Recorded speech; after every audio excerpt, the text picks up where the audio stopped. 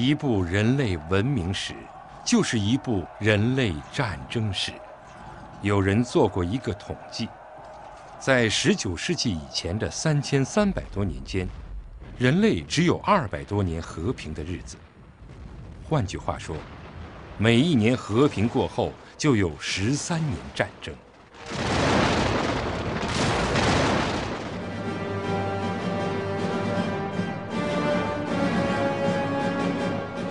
二十世纪前半叶，人类破天荒地打起了世界大战。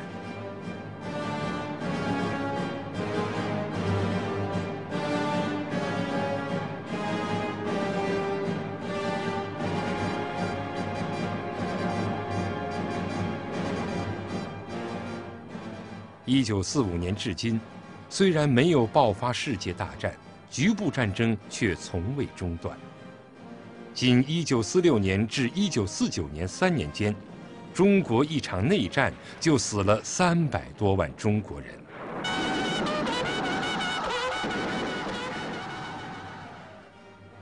五十年代朝鲜战争，死了一百九十七万人。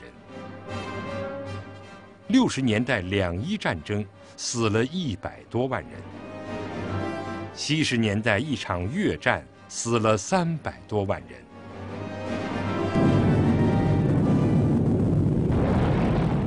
如今，人类终于第一次，恐怕也是最后一次，步入了核威胁、核竞赛、核毁灭的绝境。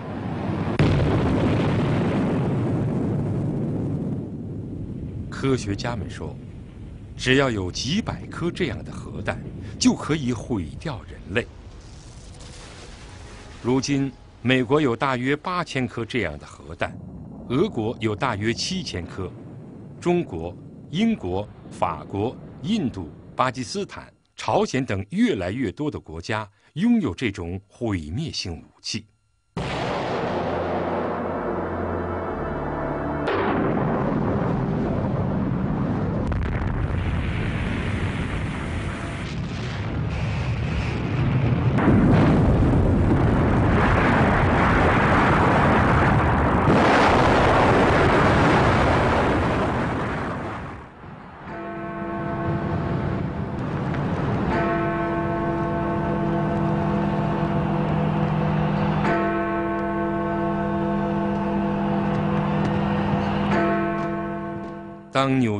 聚集在时代广场迎接二十一世纪的时候，他们万万没有想到，新世纪带给他们的礼物，竟然是有史以来最恐怖的一场噩梦。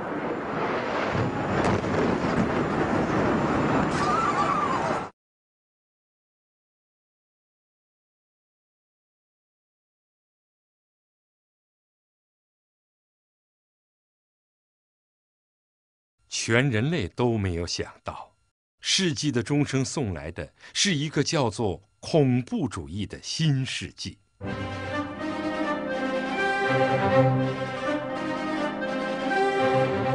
恐怖主义突破了你死我活、胜王败寇的人类斗争传统，进入了一种你死我死、同归于尽的人类末日心态。恐怖主义将人类的罪恶本性发挥到登峰造极的地步。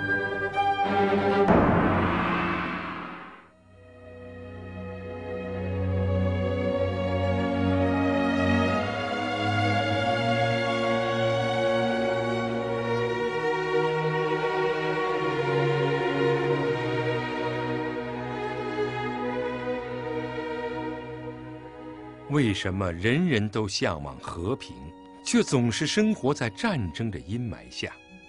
为什么人人都渴望生存，却总是置身于死亡的恐惧中？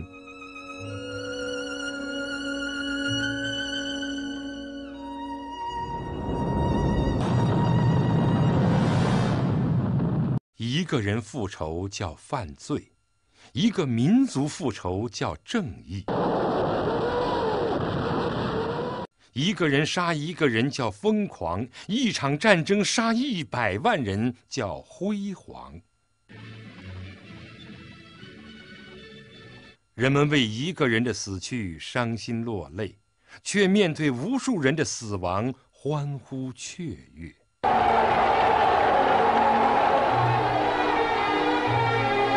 人类分工，一些人来救人，一些人去杀人，另一些人专门研究更有效的杀人凶器。看吧，每一片土地上都云集着千百万以战争为职业的年轻人，他们有一个光荣的名字，叫军人。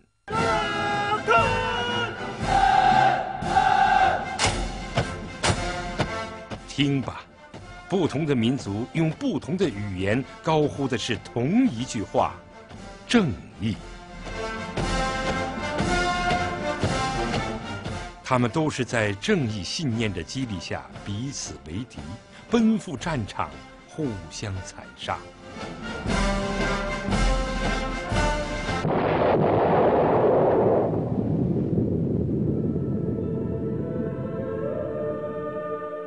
那么，正义到底是什么呢？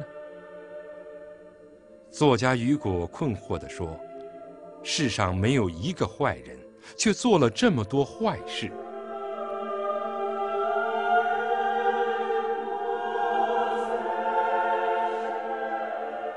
罪恶。”仿佛一个邪恶的幽灵，穿戴着民族、宗教和正义的美丽外袍，迷惑人类，不停地吞噬着自己的骨肉。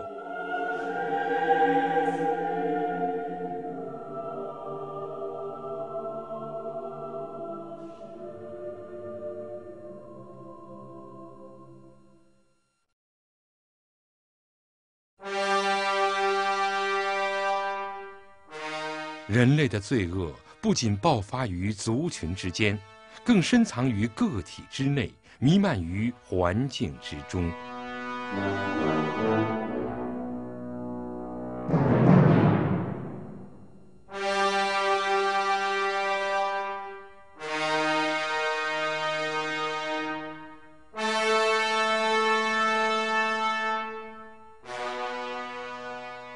六十年代的美国。报纸摆在大街上，人们拿走一份报，自然会放下一分钱。如今，这种淳朴风光一去不复返了。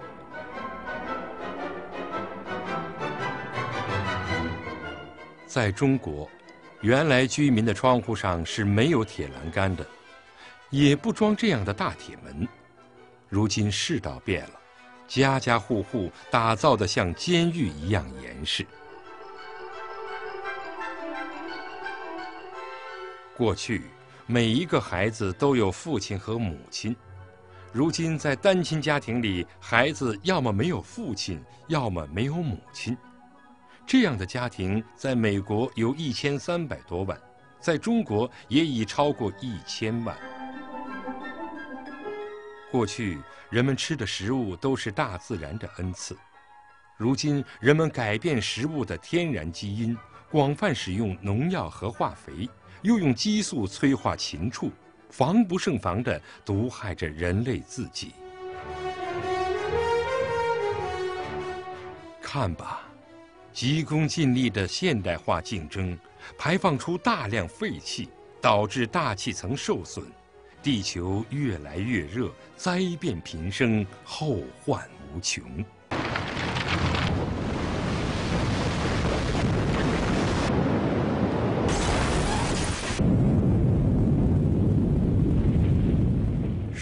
千计的核试验一再震动薄如蛋皮的地壳，掠夺式的开垦造成大地植被严重损坏，于是大自然一次比一次严厉地报应着人类。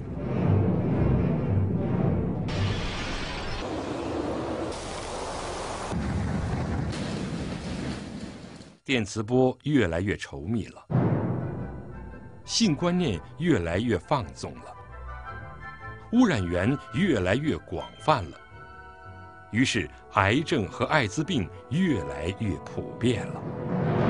高科技、高效率、高消费，使人类的生活压力越来越大，每一年都有几千万人处于失业的焦虑中，几百万人死在高速公路上，几十万人自杀身亡，忧郁症和老年痴呆症与日俱增。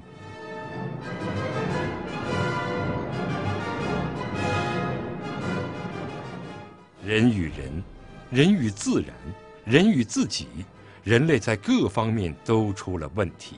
这是一场全方位的错乱，综合性的失控，正将人类送上一条不归路。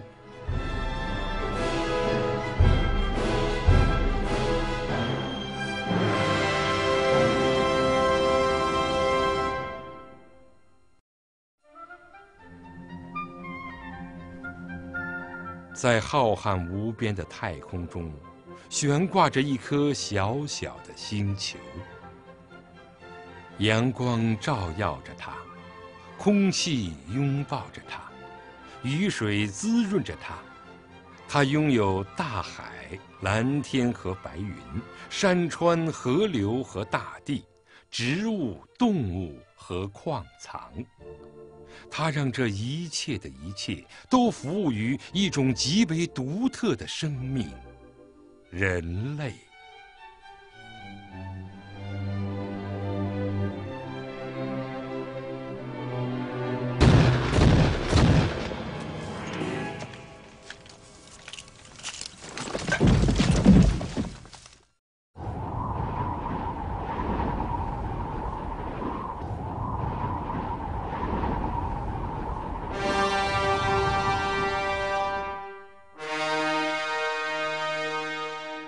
底是一种什么力量，如此深入地操控着人类的心智，使他们世代求善而不得，立志行善而不能？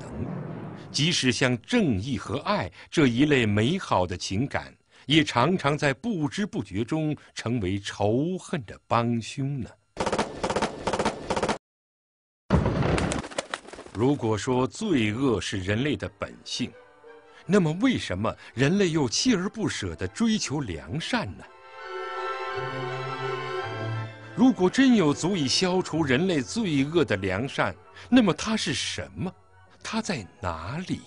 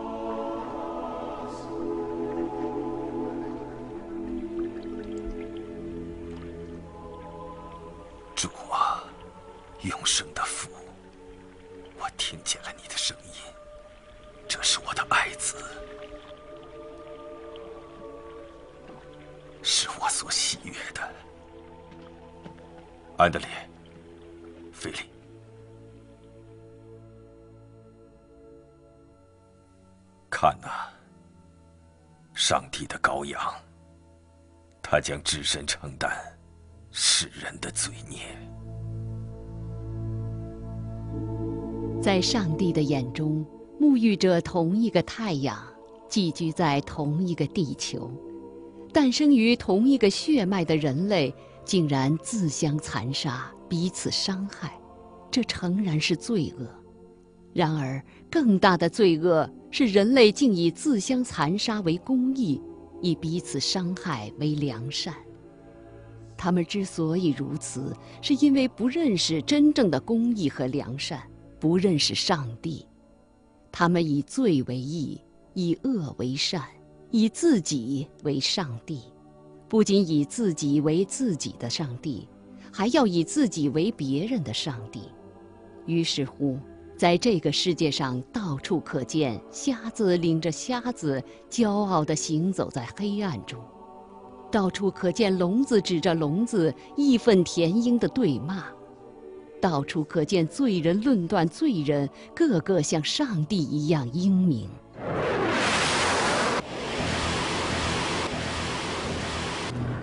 耶稣来了，正像这个希伯来名字的含义一样，上帝降临人间，要将他的百姓从罪恶中拯救出来。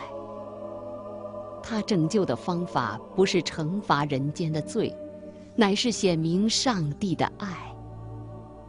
在上帝的爱里，人的罪就原形毕露了；在上帝的爱里，人的罪就得到赦免了；在上帝的爱里，人的罪就被洗得干干净净了。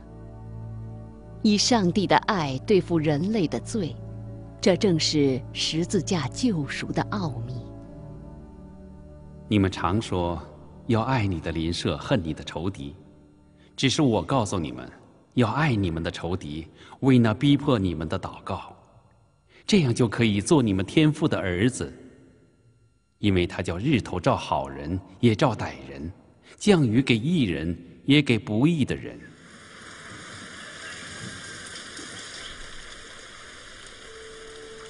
耶稣指着人类熟视无睹的大自然，亲切地告诉人类：“这一切都是天父对你们的精心供养。”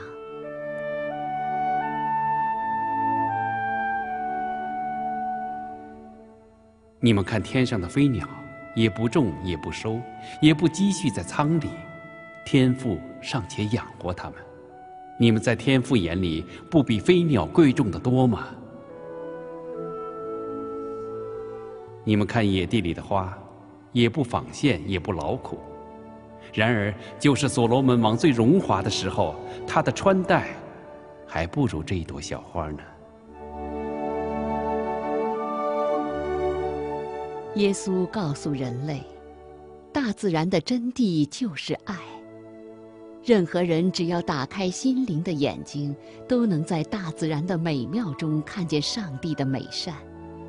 都能在无穷尽的偶然中看见上帝的必然。植物和动物，雨水和空气，山川和大地，大海和白云，月亮和太阳，在人类习以为常的每一种自然现象，每一条自然法则背后，都饱含着天赋的深情厚爱。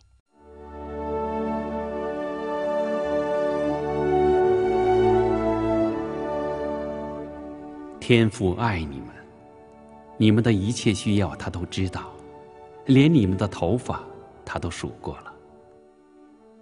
耶稣告诉门徒，他们身上的标志就是爱。我怎样爱你们，你们也要怎样相爱。你们若有彼此相爱的心，众人就能认出你们是我的门徒了。在最后的晚餐中，耶稣一个一个给他的门徒洗脚。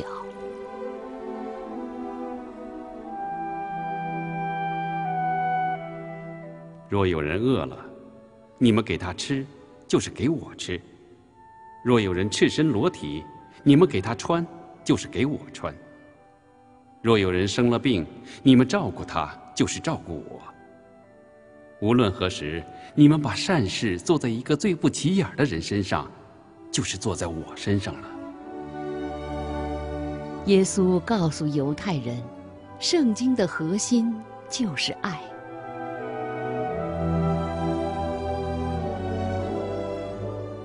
你们要尽心尽意的爱上帝，又要爱人如己，这就是一切先知和戒律的总纲。一向温柔宽厚的耶稣，曾经一反常态，严厉斥责死守戒律却毫无爱心的宗教领袖们。在一个安息日，耶稣治好一个驼背十八年的妇人。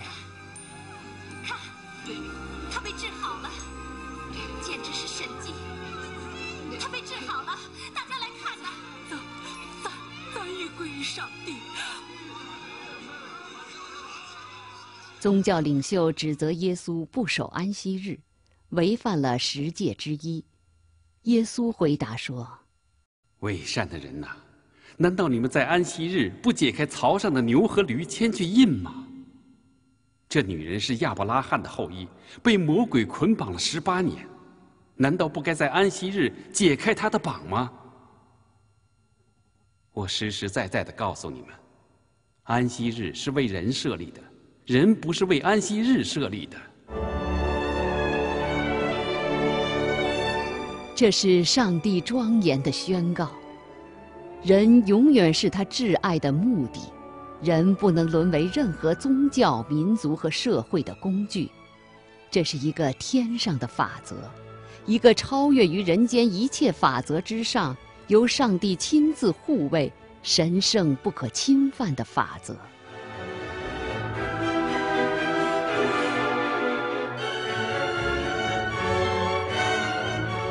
天和地是为人而设，美和善是为人而立。葡萄和无花果是为人而长，即使上帝的儿子耶稣也是为人而来。在耶稣身上，人们可以清清楚楚地看见上帝的心肠。有一次，耶稣前去一个堕落的税吏家中赴宴，他的门徒极力阻止他，不愿意跟他一起跨进那个肮脏的门槛。听我说，夫子，你如果跟这种人吃饭，就会沾一身腥，全城的人都会看不起你的。雅各，主的心是怜悯的心。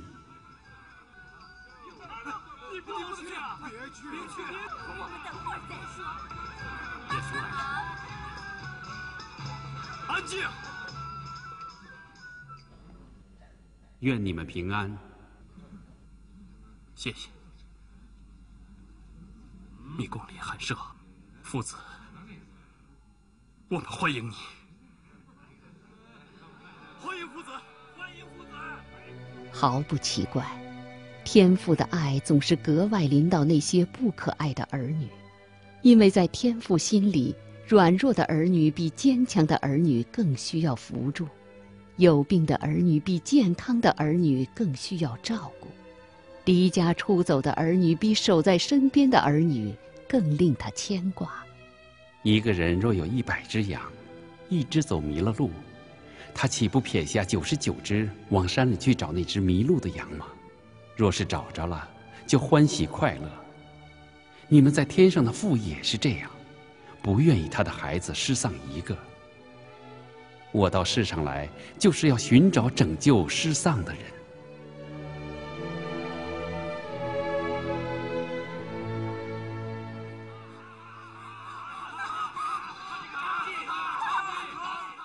有一个犯奸淫的女人被当场抓住，按照犹太戒律要用石头砸死她。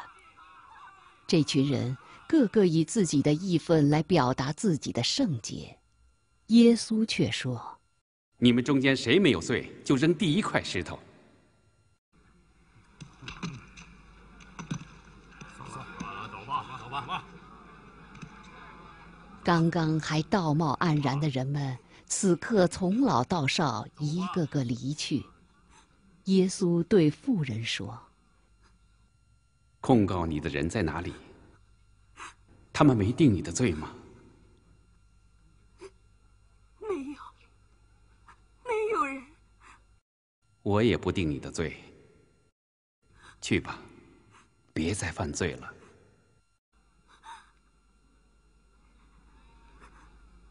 洞察人心肺腑的上帝，知道人人都有罪，没有一个人有权利论断另一个人，唯独真正良善的上帝有这样的权利。然而，因着他的真正良善，他却愿意赦免人。这不是那个妓女吗？就是她，她来干什么？她怎么来了？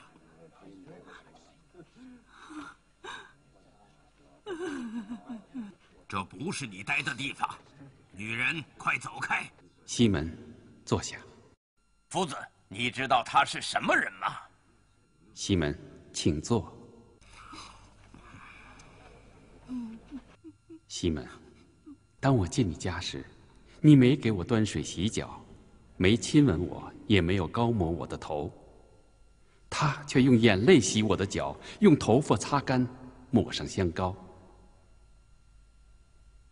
女儿，你的罪我知道有很多，都被赦免了，因为你表现出巨大的爱。什么？只有神才可以赦罪呀！就是啊。女儿，放心，你的信救了你。在上帝无比深厚的情怀下，人间的所谓崇高和圣洁显得多么冷酷和虚伪。人间的义在上帝的爱面前，竟然都显露出罪的本相。你们在人面前自称为义，你们的心如何，上帝却知道。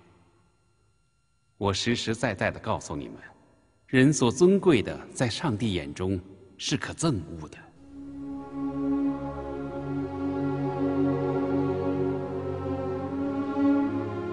上帝疼爱儿女胜过人间的父母。他来了，不是首先往那些有权有势、体面尊贵的儿女家里去，而是首先往那些贫穷、瞎眼、低贱、可怜的儿女家里去，去关怀、帮助、救拔、提升他们。这就是为什么他要出生在马槽里，成为木匠的儿子。也没有进过学堂。这就是为什么他拣选十二个下层人做他的门徒，又常常和人所不齿的罪人在一起，走街串巷去医治一个又一个痛苦绝望的人。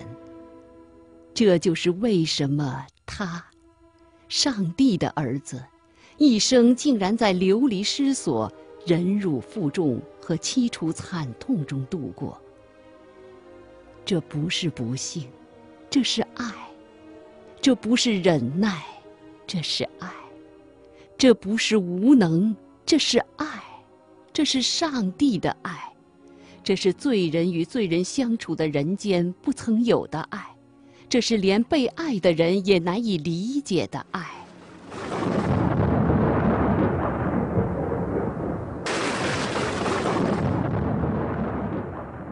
你们常说。以眼还眼，以牙还牙。只是我告诉你们，有人打你的右脸，连左脸也转过来由他打；有人拿你的外衣，连内衣也由他拿去；有人强逼你走一里路，你就同他走两里；有求你的就给他，有向你借贷的，不要推辞。这些超凡入圣的教训，在这个以自私争竞为法则的人间。没有一个人能行出来。然而，令人震惊的是，耶稣以他的生命将这些教训完全活了出来。当世人拒绝他的时候，他依然爱着他们。在耶稣前往耶路撒冷的路上，有一个村子不接待他。门徒说：“主啊，吩咐天火降下来烧灭他们吧。”耶稣斥责门徒说。你们的心如何？你们不知道。我来到人间，不是要灭人的命，是要救人的命。当同胞误解他、羞辱他的时候，他依然爱着他们。耶路撒冷啊，耶路撒冷！你常杀害先知，又用石头打死那奉差遣到你这里来的人。我多次愿意聚集你的儿女。好像母鸡把小鸡聚集在翅膀底下，只是你们不愿意。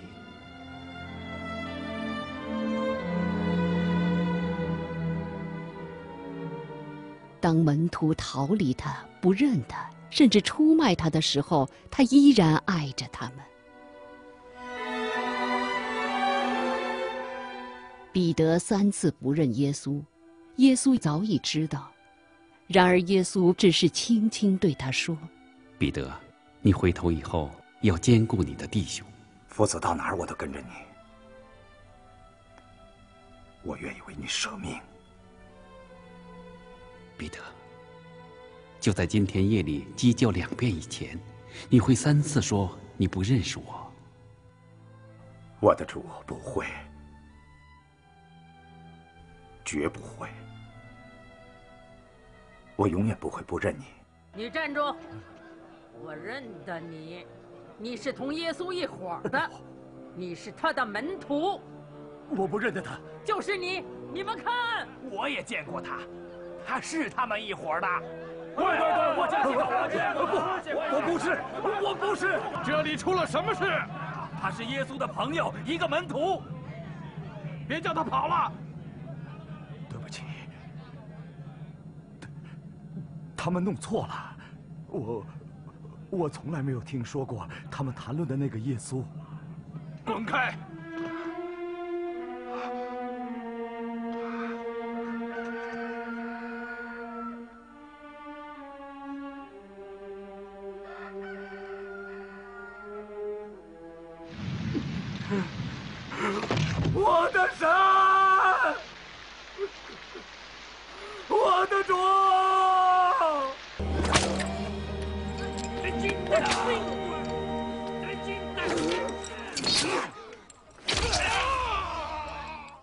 耶稣惨遭人们的凌辱和杀害，他依然爱着他们。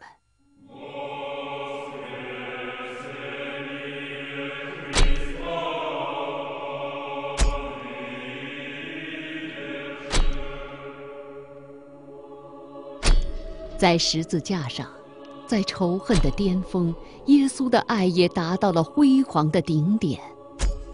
面对残酷杀害他的人，他没有反抗，没有愤怒，甚至也没有一丝轻蔑。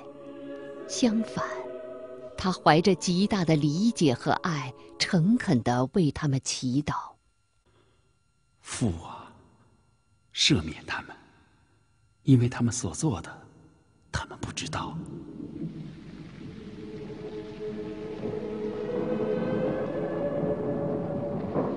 面对人间的亲人和心爱的门徒，他没有忘记用一条真爱的纽带将他们紧紧系在一起。约翰，看你的母亲。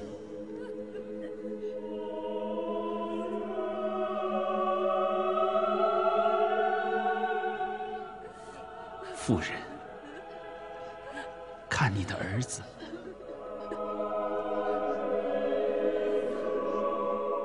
即使人间十恶不赦的罪人，只要真诚地来到耶稣面前，他也立即以永恒之爱来拥抱他。如果像你说的，你是弥赛亚，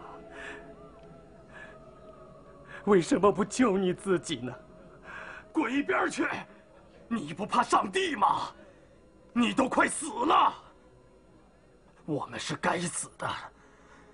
因为我们确实犯了该死的罪，应该被惩罚。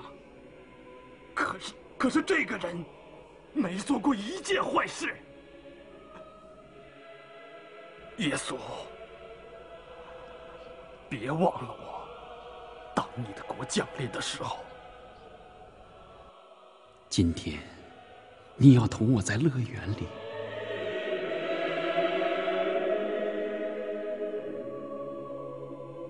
一个像阳光一样照好人也照歹人的崇高生命，一种像雨水一样给义人也给罪人的浩大恩典。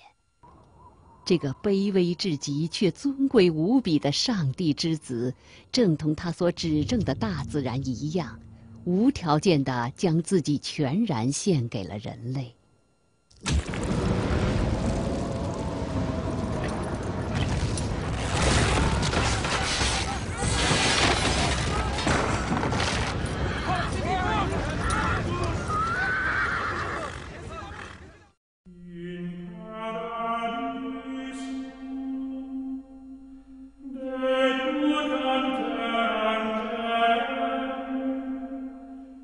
上帝的慈爱在人类仇恨的围剿中臻于完美，上帝的荣光在人类黑暗的吞噬下灿烂夺目，上帝的良善在人类罪恶的迫害中登峰造极。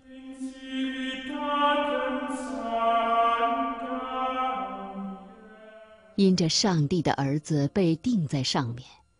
十字架这个残酷的刑具就成了慈爱的象征，这个仇恨的工具就成了和平的旗帜，这个诅咒的记号就成了祝福的标志。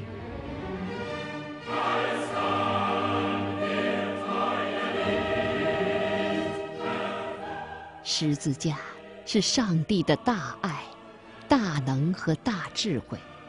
唯有借着十字架，上帝才能把自己的百姓从罪恶中拯救出来。十字架是定罪的十字架。从阳光、雨水到十字架，天父上帝对世上儿女的恩典何等浩大！可有谁把恩典当作恩典来感激呢？有谁把天父当作天父来尊敬呢？有谁把兄弟当作兄弟来对待呢？在天父和他儿子耶稣面前，人人都显出不善、不敬和不义，人人都犯了罪，亏缺了上帝的荣耀。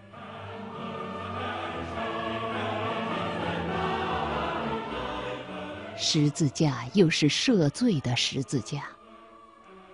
当耶稣在十字架上赦免那些杀害他的刽子手，当耶稣应许一个死刑犯同他一起在乐园里，试想还有什么样的罪人到他面前来，他不肯饶恕呢？十字架更是赎罪的十字架。不管是罗马士兵还是犹太人，显然都不晓得。他们在恨中定死的耶稣，正是在爱中替他们赎罪的羔羊。人为朋友舍命，人间的爱没有比这更大的。这是我的身体，为你们舍的，你们拿去吃吧。这是我立约的血，为众人流出来，你们拿去喝吧。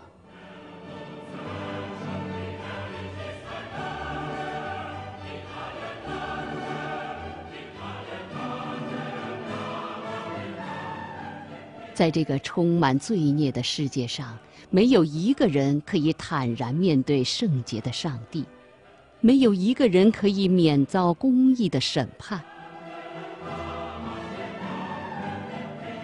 唯有被罪人们钉上十字架的耶稣，这纯洁无瑕的羔羊之血，在上帝的眼中视为完美，视为宝贵，世人只有借着它。才能得到上帝的接纳。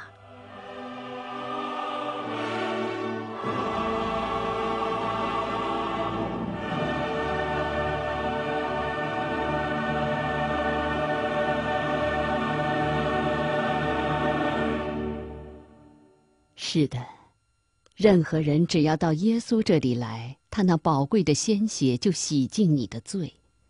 任何人只要归入耶稣的名下。你就成为天父所喜悦的儿女，你必脱离罪的诅咒和死的辖制，一生活在上帝的恩典和眷顾中。亲爱的朋友，不管你是谁，过去做过什么，现在光景如何，请你知道上帝爱你，他的爱已经借着耶稣基督临到了你。今天，如果你愿意承认自己是一个罪人，如果你愿意到耶稣这里来，接受十字架上的爱，就请你跟着我一起默默的祷告。天父上帝，我感谢你，感谢你赐给我阳光雨露，感谢你赐给我生命气息。更感谢你赐给我耶稣基督，为了救我死在十字架上。今天我来到你面前，承认我是一个罪人，我祈求你的赦免，我要一生一世信靠你。愿你的恩典伴随着我和我的一家，从今天直到永远。祷告是奉耶稣的名，阿门。